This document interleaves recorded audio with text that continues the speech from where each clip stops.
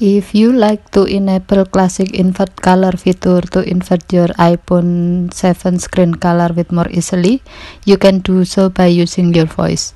To activate voice command to enable classic invert color feature, go to setting, swipe home screen to the left, and then tap settings. Scroll down the screen, and then tap accessibility scroll down the screen and then tap voice control Make sure the voice control feature is on by tapping the on off switch next to voice control. The switch turn green when it's on. Next, tap customize comments.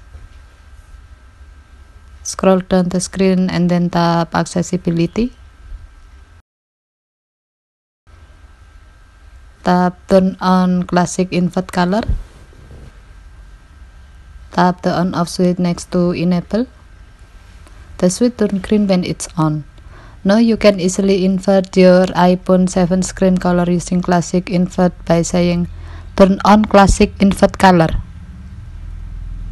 Okay thank you for watching. Have a nice day